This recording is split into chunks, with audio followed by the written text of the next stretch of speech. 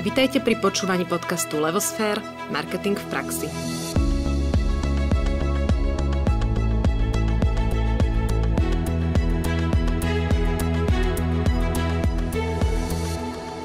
Vitajte pri počúvaní ďalšej epizódy podcastu Levosfér Marketing v praxi. Dnes vás ja, Nadia Kacera, spolu s Ankou Sabolovou prevedieme ďalšou zaujímavou témou zo sveta marketingu – ak by vám však hodinka plná výdatných informácií nestačila, ďalšie marketingové zaujímavosti nájdete na našich sociálnych sieťach. Zároveň by sme radi privítali nášho dnešného hostia, Milana Markoviča, s ktorým sa porozprávame o tom, ako správne nastaviť digitálnu stratégiu v marketingu. Milan, vítaj v našom podcaste. Ďakujem. Ahoj. Ahoj. Milan, ty si vyštudoval fakultu architektúry STU v Bratislave, Roky si bol architekt a riadil si rôzne projekty. Zlákal ťa však digitálny marketing, v ktorom prepájaš kreatívne a systematické myslenie. Cez pozíciu projektového špecialistu a online stratéga si sa vypracoval na pozíciu lídra slovenského Effectixu.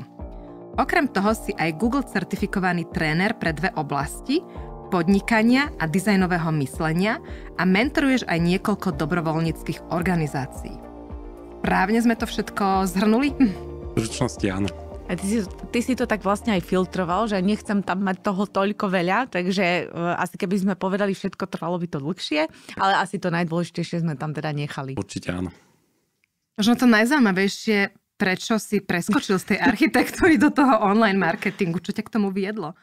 Ono to nebolo z, zo dňa na deň, bol to taký proces. Ja už ako architekt som robil skôr koordinácie a veľké stavby a priemyselné stavby a vôbec ma to nenaplňalo. Takže keď som našiel takéto nadšenie a flow vďaka svojmu najlepšiemu kamarátovi, ktorý práve bol v, v digitále, tak ma to absolútne strhlo, stiahlo a opustil som v podstate svoju doterajšiu alebo dovtedajšiu kariéru a úplne som presedlal a, absolútne ma opantala krása digitálneho marketingu a vôbec marketingu celkovo.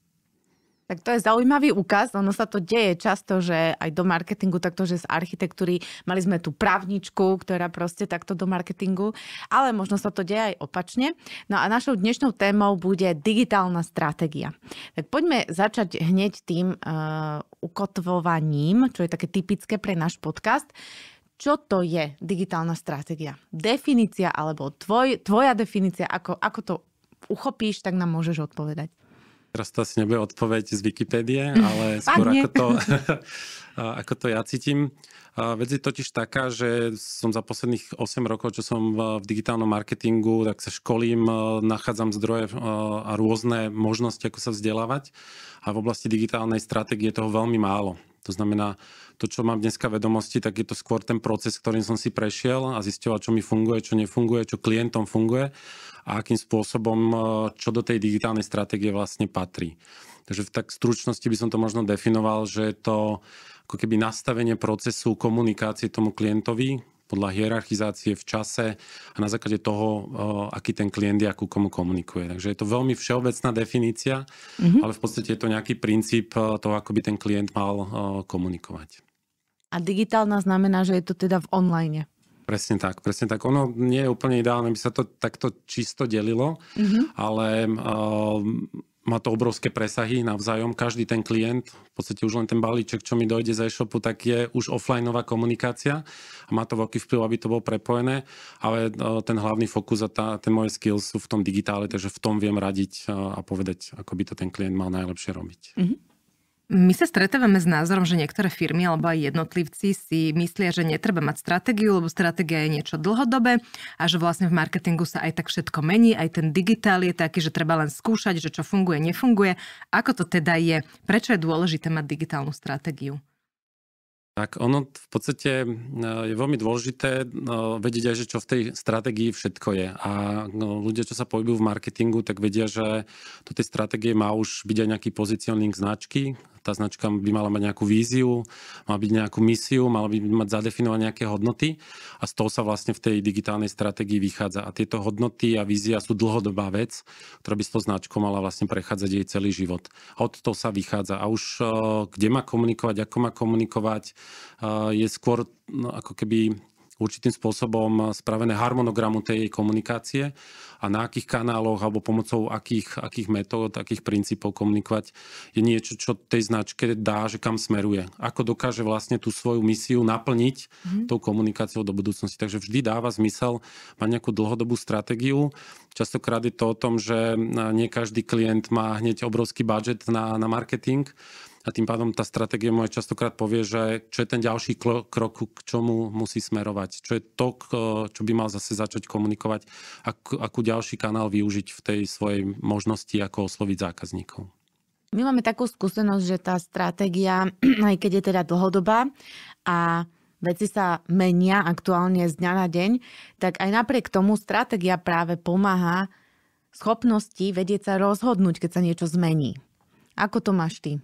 Svojej praxe. Tak presne, presne tak je. Ten fokus niekedy je držať veľmi ťažké. A pokiaľ mám naozaj veľmi dobre zadefinované, kam tá značka má smerovať, ako má pôsobiť, ako má mať tonalitu, ako, ako chcem, aby bola charakterizovaná, tak presne to má k, ženie k tomu cieľu. Napríklad my sme trošku spravili v rámci agentúry taký, taký switch. My sme československí a vlastne agentúra v Čechách si dala trošku iný smer a veľmi sa, veľmi sa zúžila v, tom svojom, eh, v tej svojej komunikácii a vnímaní. To znamená, zúžila si celý ten svoj fokus a komunikuje čisto e-commerce. A je to dobré, pretože sa vyhradila určitým spôsobom a teraz sa na každú vec, na každú zákazku, na každého klienta, na každú funkcionalitu pozrie spôsobom, splňa to môj, e, moju misiu, je tá misia v tom robiť ten e-commerce čo najlepšie, alebo nie. Ak nie, tak to nie je podstatné a zbytočne neodbieham k tomu cieľu stať sa lídrom v e-commerce segmente v rámci e, Českej republiky. A to je presne o tom. Každá značka by, presne ako si povedala, tak mm-hmm. mala mať nejaký ten, e, tú mrkvičku na konci toho roka, na konci kvartálu, na konci desaťročia a smerovať k nej. Mm-hmm. Mňa by možno ešte zaujímalo také rozdelenie pojmov, že marketingová stratégia, stratégia značky, digitálna stratégia, alebo v podstate to, čo si pomenoval, že značka by mala mať nejaký positioning, nejaké hodnoty, misiu, víziu a tak ďalej, tak my to napríklad voláme, že to je stratégia značky, alebo teda je to súčasťou celej tej marketingovej stratégie. Kde je rozdiel, keď sa to robí pre ten digitál, alebo čo možno tá digitálna obsahuje alebo neobsahuje oproti tej marketingovej alebo stratégii značky? Ono sa to v podstate úplne prelína, takže uh, tam by som to nejak definovať si tieto pojmy nie je až také podstatné už v tej praxi s tým klientom. Tomu treba povedať, že čo mu pomôže. Uh, ja, ja by som to, keď to potiahnem na, to, na ten svoj digitál, ak by som to tak nazval, tak je to veľmi zaujímavé v tom, že k nám častokrát prichádzajú klienti, ktorí vôbec nemajú skúsenosti s marketingom. Majú produkt, majú e-shop, majú službu, majú web a v podstate marketingovú stratégiu nemajú, lebo sú napríklad len čisto na digitále. Nemajú kamenné prevádzky, nemajú možno ani výdajňu, to znamená pôsobia ako keby čisto online a tým pádom ako keby veci, ktoré riešia v klasickej marketingovej stratégii, my nemusíme ako keby riešiť, ale extrémne to všetko spolu súvisí. Takže nedá mm-hmm. sa vytrhnúť, že toto je čisto pre to, čo, toto je čisto pre túto časť.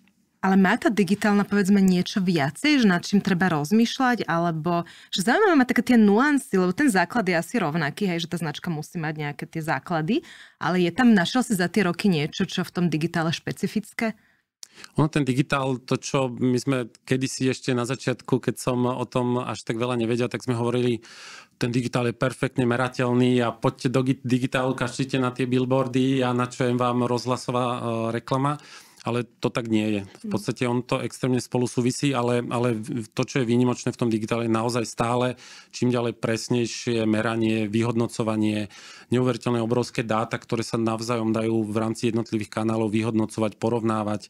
Dajú sa získať obrovské dáta o konkurencii, takže viem si povedať, čo komu funguje, ako na to môžem ja zareagovať. Takže tie dáta, tie, tie informácie, ktoré dokážeme získať v rámci toho digitálu sú, sú mhm. obrovské a to je možno taký trošku rozdiel oproti tomu, tomu, keď sa robí klasický marketing a robia sa fokus grupy alebo nejaké prieskumy, že tu vidíme naozaj pomaly až, ako sa ten používateľ na tom webe pohybuje a čo tam robí. Mm-hmm. Čiže aj to cieľenie je fakt, že také mikro cieľenie, ktoré sa nedá teda dosiahnuť pri masovej komunikácii, čo je úplne jasné. A mňa by ešte aj zaujímalo, že keď mám teda hm, značku a e-shop, ktorý je na nejakú absolútne níž cieľovú skupinu, tak uh, tam asi tiež by si mi odporučil viac tú digitálnu stratégiu a, a teda ten online ako, ako celkovú tú marketingovú stratégiu. To úplne závisí segment od segmentu, mm-hmm. lebo uh, keď cieľime na horných 10 tisíc, mm-hmm. si skôr musíme povedať, že či sa vôbec v tom digitále nachádzajú, či konzumujú mm-hmm. tie siete, tie kanály, kde by uh, sme ich my chceli zastihnúť. A pokiaľ si zadefinujem moju cieľovú skupinu, že je to 50 rokov plus, a je to z horných 10 tisíc, tak asi na Facebooku svoj čas moc netrávi mm-hmm. a mhm. tým pádom nemá význam cieliť a hľadať ho v rámci nejakej ako keby cielenia v rámci tohto kanálu. Rozumiem. Takže aj tam častokrát prichádza k tomu, že povieme, dobre, tak poďme do časopisov, poďme, poďme do, do mesačníkov, týždenníkov, ktoré si oni pozerajú. Aj keď to nie je také presné cielenie, ale vieme, že tam ho skôr nájdeme ako v eh, Instastorkách. No. Mm-hmm. Mne by ešte zaujímalo, lebo vlastne tá digitálna stratégia, teda ty to tak vnímaš, že my to teda voláme že stratégia značky, že tam by to malo začínať. Ale keď ideme ešte o krok ďalej, taký marketingový mix, ako uh, fungujú alebo nefungujú e-shopy, povedzme, keď nemajú dobre nastavené portfólio, hej, že majú síce super vybudovanú značku, majú perfektne premyslené, kde ako budú komunikovať, ale chyba je v produkte. Ako to súvisí s celou tou digitálnou stratégiou, alebo ako s tým prípadne pracujete, pozeráš sa na to? Tak práve ak sme hovorili, tak ten digitál má neuveriteľne veľké dáta a vieme sa k ním dostať. Je na to obrovské množstvo nástrojov, ako sa spraví absolútne podrobná analýza hociakého segmentu, hociakej trendovosti, dokážeme neuveriteľné množstvo informácií získať, na základe ktorých vieme toho klienta reflektovať alebo konfrontovať s tým, a reflektovať ten trh, eh, že čo, kde sa nachádza. Či je konkurencieschopný, eh, či využíva tie kanály, kde je jeho konkurencia, mm. či je na tých miestach, kde by ho očakávala tá konkurencia, alebo či dostatočne atraktívne komunikuje ako ostatní. Takže v tomto je to veľká výhoda na základe dát mu spraviť naozaj veľmi podrobnú analýzu mhm. toho, kde, kde má problém, ako sa dá zlepšiť, mm. kde je ten potenciál a čo by mal vlastne robiť a na koho cieliť. Keď sa pripravuje e, digitálna stratégia, tak ako si to máme predstaviť? Robí ju digitálny stratég, ktorý ju robí sám, alebo teda konzultuje s nejakými špecialistami na web, na Facebook, na Instagram, lebo naozaj tá téma je veľmi široká a nedá sa byť expert na všetko. Potom sú tam nejaké uh, ľudia na pozadí webu, potom môžu byť kreatívci. Tak ako to vlastne vyzerá? Možno aby som to povedal, ak to u nás v agentúre vyzerá. Že no, to, všade ide. tak, um, sa zídete v jeden ráno, všetci áno, všetci a robíme stratégiu od rána do večera. Uh, tak to krásne to bohužiaľ nefunguje. Ono je tiež veľký rozdiel, že či príde nejaký lead, alebo či my ten lead si vypýtame, či je to tender, alebo je to na základe nejakého doporučenia a, a nezápasíme tam na základe nejakého zadania a výsledkom nie je Excelová tabulka, ale je naozaj vytvorenie e, nejakej zmysluplnej stratégie. Na začiatku je samozrejme extrémne odbrifovanie klienta, to znamená zistenie, kde sa nachádza, aké sú jeho očakávania, či má nejaké nadimenzované ciele. Snažíme sa dostať do všetkých jeho systémov, to znamená, vypýtame si prístupy do jeho Google Analytics, Google Search Console, do jeho platených kampaní, business manažera a všetkého. A ako náhle máme tieto prístupy, tak sa to vlastne v prvom kole rozdelí do, k všetkým špecialistom, ktorí sa na to pozrú a vlastne spravia jednoduchý zápis toho, kde vidia potenciál toho zlepšenia, kde, kde vidia chybu, kde vidia to, či ten klient robí maximum a vyťažuje z toho kanálu a následne potom je niekoľko kvôl toho, že si k tomu sadne celý tým naozaj. Ten stratég je tam skôr uh, ten, ktorý to dáva celé dokopy, ktorý tomu dáva logiku, ktorý sa skúsi pozrieť na tie jednotlivé kanály, skúsi nájsť medzi nimi nejaký význam a, a má hlavne väčší prehľad možno o tom trhu, o tej konkurencii, o tom, mm-hmm. čo vlastne v tom segmente sa deje a, a prináša a spája tých ľudí, ktorí, uh, ktorí tam sú. To znamená, časokrát sa na to klienta pozriem a poviem, tá jeho brandová komunikácia nie je dobrá, tak zapojme do toho kreatívca, ktorý, ktorý skúsi tú značku nejakým spôsobom zadefinovať lepšie, alebo eh, má obrovský problém už sa, so samotným produktom, lebo nie je konkurencieschopný, tak poďme mu vymysleť, akým spôsobom by sa mohol zlepšiť, eh, čo by, čo by mu pomohlo v tom, aby vôbec ten produkt bol atraktívny, lebo môžete robiť marketing koľko chcete, ale keď ten produkt nie je dobrý, alebo nie je konkurencieschopný, alebo je zle zadefinovaný v tej no. komunikácii, mm. tak sa môžete zblázniť. Áno, No to máme taký ten obľúbený výrok, že nič nemôže firmu položiť lepšie ako dobrá reklama na zlý produkt. Takže tam to asi začína a končí. No ale teda na začiatku toho celého, keď sa tvorí tá digitálna stratégia, je teda analýza. Veľa ľudí si sadne, zistuje, mapuje, potom sa stretnú a dávajú nejaké návrhy. A teraz teda akože prvá časť je tá analýza a teraz to samotné navrhovanie. Čo by vlastne správna digitálna stratégia mala obsahovať? Akými krokmi alebo bodmi sa prechádza? Tak keď sa zistilo asi na začiatku, že kde je ten problém a kde je ten potenciál, ako by sme ho vlastne riešili, tak ja úplne milujem myšlienkové mapy, takže väčšinou pred, eh, či už sám alebo pred eh, nastúpeným osadenstvom vlastne kreslím eh, nejaké zamyslenie sa nad tým klientom a v podstate na základe tých dát dokážeme povedať, kde sa mu to oplatí alebo kde je to efektívne nejakým spôsobom komunikovať. Pokiaľ vieme budget klientov, tak môžeme povedať, čo je to dôležité, do čoho by musel, mal ísť v tom prvom momente, do ktorých kanálov, do akej komunikácie. Ten najväčší problém častokrát býva, to je ako keby nekvalita webov na Slovensku a veľa klientov chodí s e-shopom, ktorý je presne to auto v, v garáži bez kolies a chce, aby sme do neho naliali benzín a vyhrali závod. To proste nefunguje, tak to nejde a tým pádom začíname väčšinou práve analýzou tej platformy, na ktorej predbieha tá, mm-hmm. tá hlavná konverzia tá sa musí vylepšiť na, maximálne, na maximálnu mieru, aby sa potom vôbec klientovi oplatilo do toho liať peniaze a, a, a vyhrať ten závod. Takže začína sa väčšinou tým webom, ak, ak tá konverzia prechádza tam, ak je to kampaň len čisto facebooková, alebo je tam nejaká aplikácia, alebo je to postavené na nejakej inej, inej, inom cieli, ale reálne to je ten prvý bod. A, a na to potom napasujeme, že čo je ideálne, aby ktorý kanál využil. A naozaj to prebieha tak, že sa snažíme na to pozrieť všetci. Každý má z toho svojho, z tej svojej špecializácie uh, veľmi dobrú um, pridanú hodnotu na to, aby tomu niečo povedal, ako by sa to dalo spraviť lepšie. Mm-hmm. Čiže m, predstavím si teda tú myšlienkovú mapu, o, ktorá slúži na to, aby sa vyriešil ten problém, ktorý klient má, čiže predchádza tomu nejaký nazvem to mini audit, popozeráte a zistíte, kde to škrípe, to sa musí najprv nejako opraviť, aby sa mohlo teda začať. No a teraz e, predstavme si, že sme v štádiu, že teda už začíname. Čo by určite mala taká digitálna stratégia, ktorá je dobrá, kvalitná, obsahovať, že predpokladám, že nejaká cieľová skupina by tam napríklad mala byť. Takže, že čo by to teda malo byť a aj k tej cieľovej skupiny, skupine, ako ju u vás definujete, alebo aký máš e, e, aký, akú máš skúsenosť práve s definíciou cieľovej skupiny a čo si myslíš o marketingových personách a jak sa k tomu staviate u vás? Tak tie, tie dáta nám práve ukazujú, že kto je tá cieľová skupina, ktorá či už funguje u toho klienta, keď má nejaké historické dáta, alebo v rámci toho segmentu. Takže máme ju častokrát e, celkom presne zadefinovanú, čo sa týka nejakého sociodemo, a, a jej správania. Samozrejme veľmi je špecifický ten segment, pretože no, častokrát tú cieľovú skupinu si doladíme s tým klientom. Mnohokrát sa stáva, že na e-shope o mnoho viac návštev žien, ale o mnoho viac nakupujú muži a, a, a tam zistíme od klienta, ako je to možné, prečo to tak je. Máme komunikovať teraz na mužov alebo na ženy, kto je tam ten rozhodujúci. A častokrát sa zistí to, že je tam nejaký spôsob v tom segmente správania. A to, to, to potom veľmi pomáha v tej komunikácii.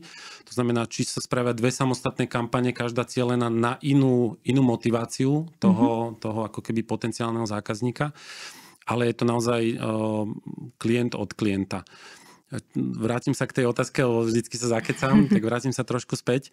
Um, tá cieľová skupina samozrejme je na základe dát a skúseností a všetkého, čo dokážeme ako keby zistiť, uh, ako by mala byť, aby sa nastavila na to správna komunikácia, správne kanály. Uh, s personami veľa, veľa sa o personách hovorí, veľa, veľa sa persony definujú, ale mám veľmi malú skúsenosť s tým, že by sa naozaj efektívne využívali nie je to len o tom si ich spraviť, spraviť si až tvorky a založiť si ich potom niekam do dokumentu, ale veľmi ťažké s nimi potom pracovať a vyhodnocovať, či naozaj tá komunikácia na tú personu naozaj funguje. Väčšinou nám to funguje v nejakých sociálnych sieťach, kde, kde si vytvoríme publikačný kalendár, máme tri persony a vieme, že ku každej by sme mali pravidelne sa prihovárať nejakým obsahom, nejakým kontentom a pasovať to na ňu a vtedy to funguje. A potom to aj musíme vyhodnocovať, že či naozaj ten príspevok lajkujú ženy, keď je určené určené pre nich a to častokrát je kruté zrkadlo toho, že to nemusí vždy tak byť. Lebo tie, tie domnenky toho aj či už stratéga alebo špecialistu za daný kanál sú na začiatku nejaké, ale ako náhle sa tá kampaň vyvíja a postupuje sa, tak sa to môže hodne v čase meniť.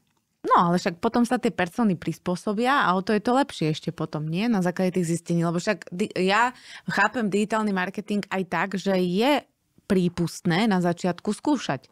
A že v podstate sa skúša, skúša, skúša a potom sa hľadá tá najlepšia cesta, lebo mm, tým, jak je rozdrobený, jak je detailný, jak je targetovateľný, tak v podstate je veľmi ťažké predikovať práve pre tú schopnosť zistiť tú realitu, hej. Čiže uh, to testovanie, že je prípustné a teda asi aj pri tých marketingo, marketingových personách, že sa dajú opraviť a možno pokračovať ďalej. Určite áno. V podstate všetko, čo sa dá testovať, tak je dobre testovať. Tých, tých možností je naozaj, e, naozaj veľmi veľa.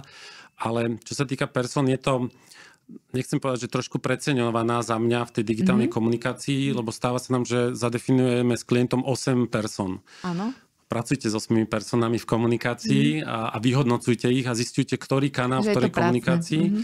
A, ako spravíte e-mailing na 8 person, keď z tej databázy ťažko zistíte úplne, že kto je presne ktorá persona.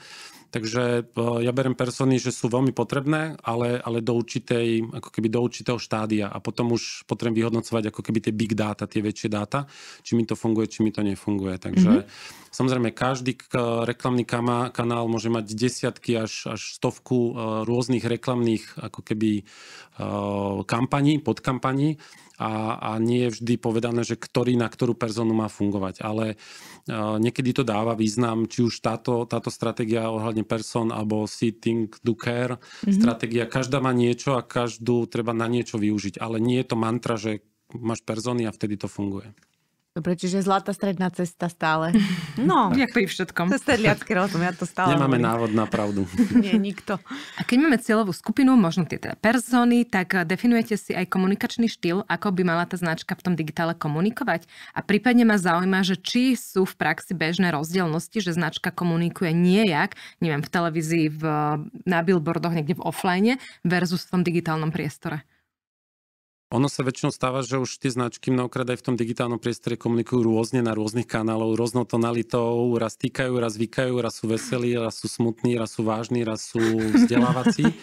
A to častokrát si to ten klient ani neuvedomuje, že to má takto o, o, rozdrobené, rozdrobené na rôzne, rôzne o, on sám je niekoľko person za seba.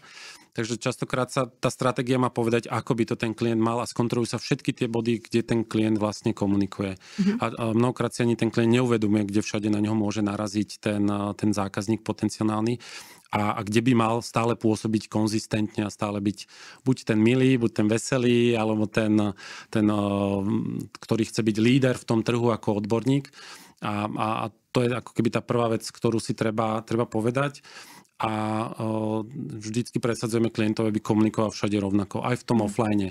Pokiaľ je naozaj, že jeho cieľová skupina je niekto, sú ženy, ktoré chcú byť milované, chcú byť tie, ktoré sú obdivované, tak do tej komunikácie by to mal dostať. Keď si doma rozdbalím balíček z toho e-shopu, tak by tam malo byť niečo srdečné, niečo, niečo krásne, voňavé, niečo naviac, čím tú ženu poteším a ukážem, že si ju vážim, lebo to funguje, lebo, mhm. lebo to tak má byť. Mm-hmm. Takže, lebo aj ten môj produkt s tým súvisí, že tej žene dávam nejakú, nejakú mm-hmm. hodnotu, niečím ju chcem potešiť. Uh-huh. Mňa by ešte zaujímalo, že keď e, príde teda klient a nemá tieto veci, hej, že nemá tú značku ošetrenú a, a tú tonalitu a tak ďalej, tak si spomínal, že áno, že ho na to upozorníte a to potom pripravíte pre neho, alebo že no áno. Uh, Stalo sa už aj také, že s tým klient možno nesúhlasil, že povedal, že ale on to nepotrebuje, alebo tomu neverí, alebo že jednoducho preskočme to, hej, analýzu netreba, poďme rovno a, a potom čo, vrátite ho naspäť, alebo poviete nie, my za týchto okolností nespolupracujeme. Ako ste v tomto asertívni, ako vlastne prechádza tá, e, tá, akože tá edukácia, lebo 100% tam určite je, pretože ten trh poznáme aj my, takže vieme, že ho treba veľmi silne edukovať. Čiže ako, ako sa k tomuto staviaš? Možno by som začal úplne od konca. Naozaj tá edukácia trhu je extrémne dôležitá. A, a sám vidím, že je veľký, ako keby veľký deficit toho, ako sú vzdelaní marketéri alebo majiteľia firiem, alebo, alebo tí zamestnanci vo firmách, ktorí sú zodpovední za tú komunikáciu.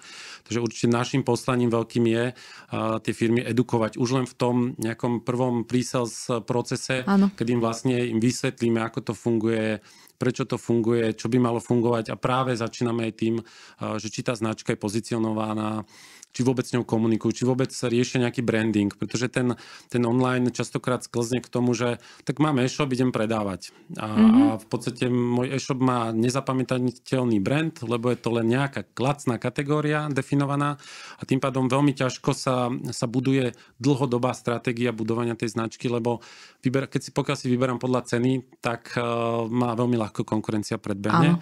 A dosť také všeobecné známe Áno. veci.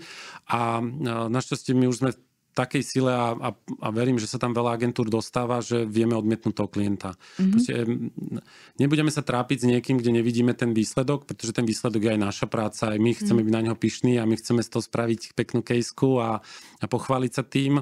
A pokiaľ ten klient nepočúva, tak tam to je, to je, tá energia sa dá využiť potom pozitívne niekde inde. Mm-hmm. Tak. Mm-hmm. Komu nie rady, tomu nie pomoci, ak sa Presne hovorí. Že... Mm-hmm. A keď už máme aj teda tú cieľovku, klient má nejak teda tie základy nastavené, že vie, počúva, a ako rozmýšľať nad komunikačnými kanálmi, že kde teda to posolstvo tej značky dostať, kde osloviť toho, tú cieľovku, tie persony. Je na to nejaké pravidlo, ako nad tým rozmýšľať, alebo len tak, akože intuitívne, ako zase, hej, ako na to? Ono, bohužiaľ, budeme stále v veľmi všeobecnej rovine, mm-hmm. lebo u každého klienta je to veľmi jedinečné a naozaj môžem len tie všeobecné ako keby poučky opakovať. Je rozdiel, akú mám cieľovú skupinu, takže mm-hmm. podľa toho komunikujem a vyberám kanály, alebo tá sa niekde nachádza. A potom, čo na nich komunikujem, závisí tiež aj od toho, aký dokážem tvoriť vlastne obsah. Nie každá značka dokáže hneď natáčať videá a tým pádom pre mňa YouTube, aj keď je tá moja cieľová skupina, nemôže byť jeden z ako kanálov, do ktorého sa pustím. Takisto častokrát sa bavíme značkami, či ich produkt je, je hľadaný vôbec. Takže spravíme analýzu toho, že či uh, ich nielen produkty, ich kategóriu, ich kľúčové slova niekto vôbec na internete vyhľadáva, aby sme mohli doporučiť, áno, tak poďme do toho a poďme tých ľudí, ktorí sú už v tom nákupnom procese tak ďaleko, že tvoju značku, tvoje produkty vyhľadávajú, mm-hmm. tak sa mu tam ponúkni. Takže ten výber tých kanálov a ich hierarchizácia v rámci nejakého harmonogramu postupnosti závisí práve od toho, aká to je značka, či je mhm. známa, či neznáma, či je mhm. vôbec vyhľadávaná, či, či vôbec má ten budget na to budovať tú značku, pretože dostať, byť známy na trhu v rámci značky, to nie je o tom, že spustím kampán, za mesiac poviem, všetci ma poznajú. To tak úplne nefunguje pri tých malých budžetoch, ktoré tie firmy dokážu Majú, pustiť do toho. Každý chce hneď predávať a, a skôr našou, našou snahou je tým značkám povedať, že aj sú aj nejaká značka. Mm. Investícia do tej značky im hneď nepriniesie peniaze, mm. ale z, z dlhodobého hľadiska je to možno ten práve rozhodujúci argument na to, aby keď vidím eh, tri rovnaké inzeráty, tak si vyberiem tú značku, o ktorej som už počul, ktorú som videl, ktorá mi je sympatická eh, a to, to nákupné rozhodovanie uľahčím tomu zákazníkovi, ale len tým, že tú značku budujem. Že, že tej mm. komunikácie komunikácii pridám ešte niečo okrem zľavy, okrem toho, že to mám hneď na sklade, ale že tam vy, okolo tej značky spravím aspoň trošku príbeh. Predstav si, že by uh, sme teraz mali odporučiť nejakému e-shopu, ktorý sa rozhodol, že teda už som dostatočne narastol, že chcem ísť do digitálnej komunikácie, uh, že vás má osloviť, alebo akúkoľvek inú agentúru. Čo by malo byť to, ako by sa mal ten e-shop, teda ten majiteľ, zakladateľ alebo obchodník alebo ktokoľvek, ako by sa mal na to pripraviť? Mal by si tak nejak vnútorne povedať nejaké ciele alebo, ja neviem, vedieť svoju maržu alebo čo by mal vedieť na to, aby vôbec uh, sa nestalo to, že príde, vy mu poviete, dobre, tak toto, toto, toto, toto, skúste premyslieť a príďte o dva týždne. Hej, že čo by to malo byť, čo by som mala vedieť, keď do takého niečoho vstupujem? Ono mnoho tých značiek tým marketingom digitálnym začína. Mm-hmm. Je na tom celkom zaujímavé, že, že ako keby vytvoria si produkt, vytvoria si službu a ten najrychlejšie, ako to spropagovať, je dneska ten digitál. Uh, takže málo kedy, alebo tá korona to trošku zrýchla, no. značky, ktoré ešte neboli v digitále, tak, tak rýchlo tam? sa tam snaží dostať a už sú, už sú aj oni tam, už ich máme v košiari. Ale to, čo by som ja možno tak filozoficky povedal, málo ktorý klient je pripravený to s, tou digitálnou, s digitálnou agentúrou byť ako partner. Mm-hmm. To partnerstvo, tá spolupráca je extrémne dôležitá. Tá dôvera k, k tomu partnerovi, že on mu vlastne ovplyvňuje ten biznis a má mu s tým pomáhať, tak to častokrát tam nie je, alebo občas nie je, by som to skôr tak povedal. A, a ten klient sa tú dôveru musí nejakým spôsobom k tomu partnerovi mať, lebo uh, pustívať do, do svojej maržovosti, do svojich uh, procesov interných, do svojej hierarchie firmy, kompetencií a nechať si hovoriť do toho, ako by to mal on robiť, ako by je tá značka, ktorú si mnohokrát aj buduje uh, veľa rokov, mala komunikovať ináč, aby to fungovalo, mm-hmm. tak tam nie každý je na toto ako keby pripravený a, a, a nedôveruje tomu partnerovi. Takže to partnerstvo by som tak postavil na nejaký piedestal, že to by si mali v hlave pripraviť tí majiteľia firiem alebo markeťáci, aby do toho išli s týmto, s tou mhm. motiváciou získať partnera. Mm-hmm, to je zaujímavé. Ja som čakala, že povieš, že by som mala vedieť nejaké svoje ciele, mať to nejak upratané, ale s tým mi asi teda pomôžete, keď prídem. Je, snažíme sa z toho klienta mm-hmm. vyťahnuť. Ako ono je to, tá základná poučka je, nech vám klient povie budget a dostať z klienta budget je ako veľmi, veľmi ťažké a mnoho klientov ide do diktálu a vôbec netuší, čo sú nejaké PNOčka, KPIčka, alebo v akých maržovostiach sa má, alebo v akej ziskovosti sa má vôbec hýbať s produktami.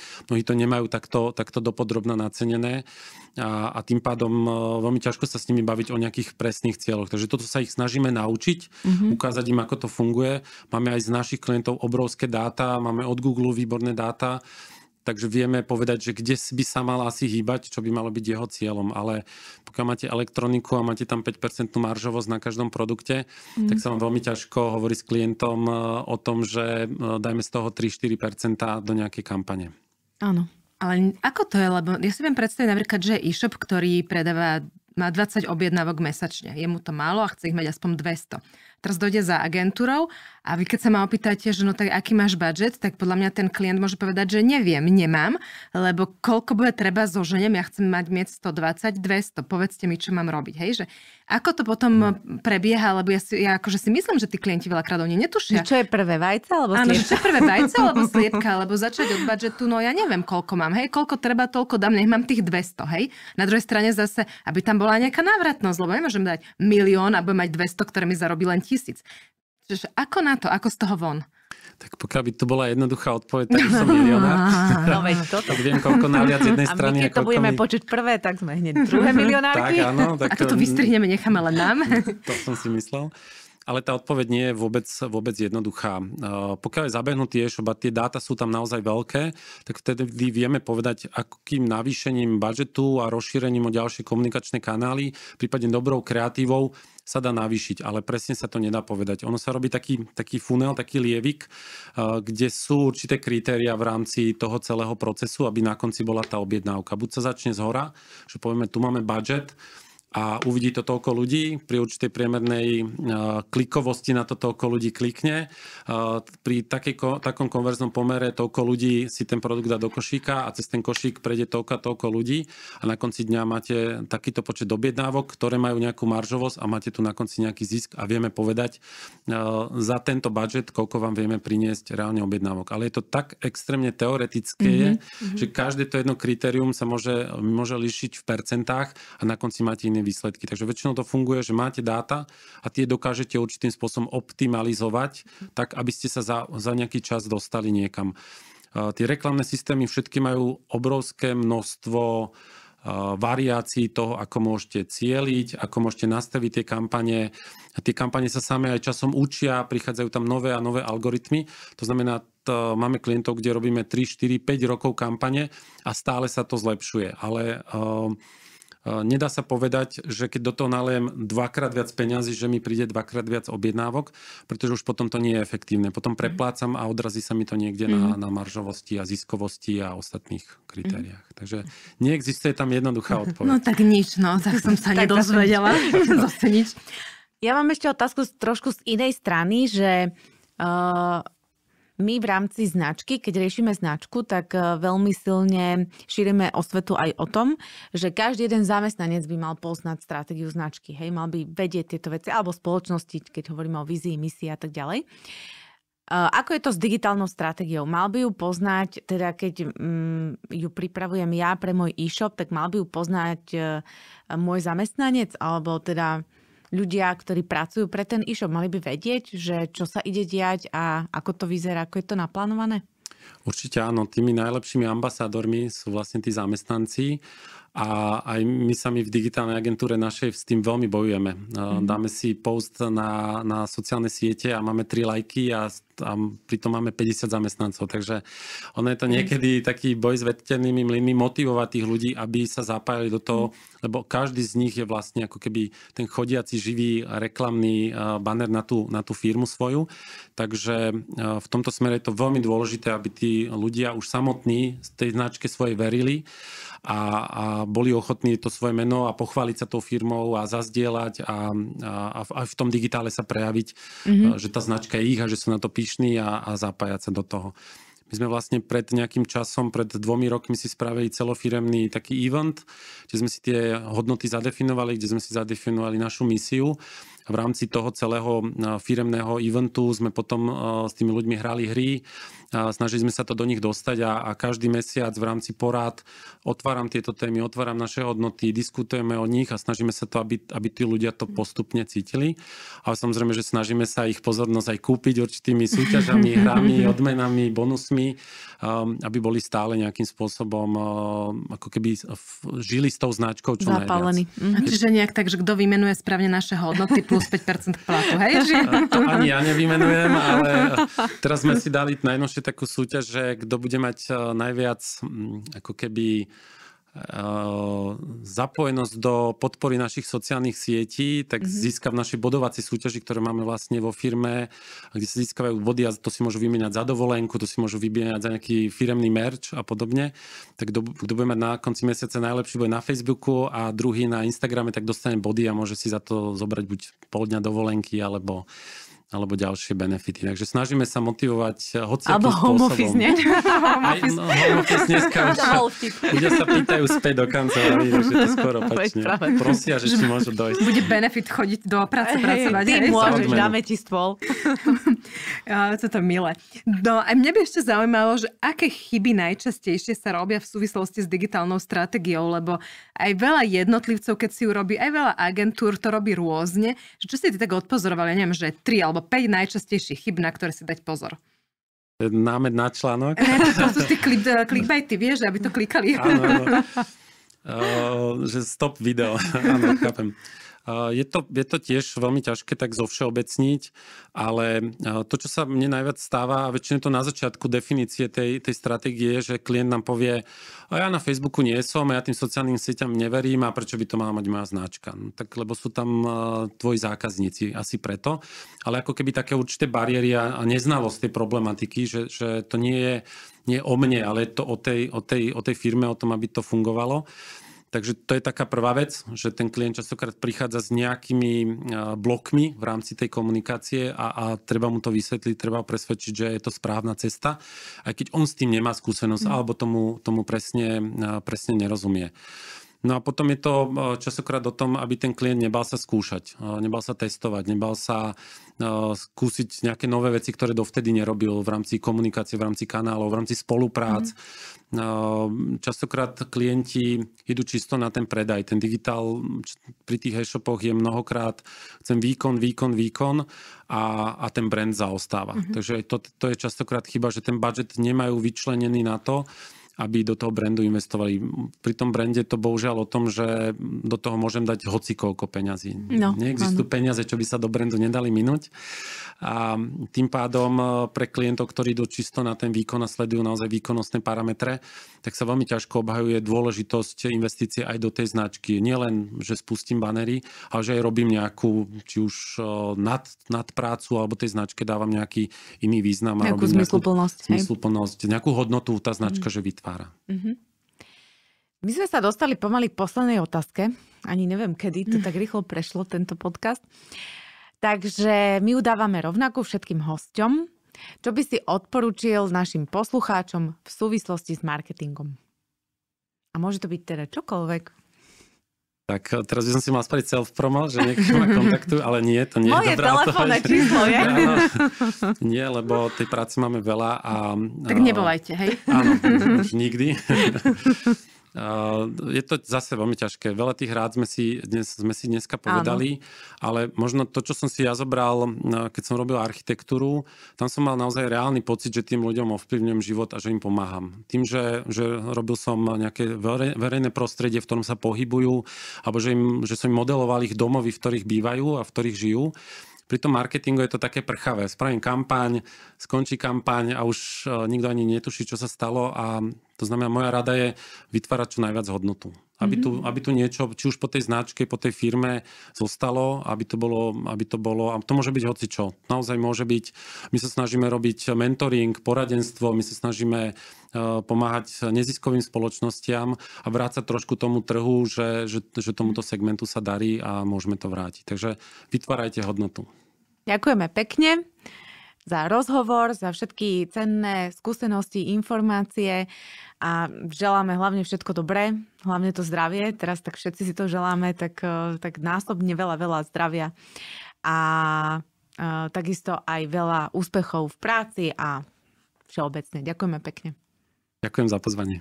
Ďakujeme aj vám poslucháči, želáme krásny deň a počujeme sa budúci štvrtok pri ďalšej epizóde Levosphere Marketing v praxi. A ak by ste nám chceli niečo povedať, odkázať, tak komunikujte, veľmi nám to pomáha a motivuje nás to pokračovať ďalej. Dovidenia! Dovidenia.